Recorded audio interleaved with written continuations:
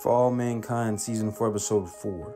So, the Russian government got taken over by a coup, and Svetlana and Vasily are Russian astronauts on Mars. They have an argument.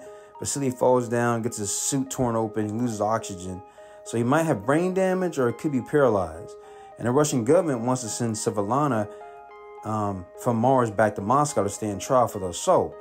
But this is going to cause an argument between Danielle and Edward because Edward is really having a secret relationship with Svetlana. And then also, you're going to have Samantha is going to be upset with Miles because Miles found out about these crystal rocks on Mars that he could send back to Earth and make money. And she's upset that he's more concerned about the crystals than about Vasily's health. And then Dev's going to state that he wants Mars to be for everybody, all citizens, not just for astronauts and scientists. So I can't wait for more episodes of season four. I wonder how the season will end.